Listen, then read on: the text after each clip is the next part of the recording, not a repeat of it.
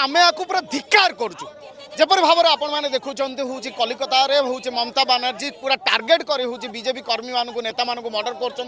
ওড়শা সরকার Takhar হচ্ছে আলুমা গান্ধী এথর হচ্ছে কেমিতি ভাবে সে গুন্ডাগিরি করছেন তাকে মগাইছেন মু ডাইরেক্ট টার্গেট করবি প্রতাপ জেলা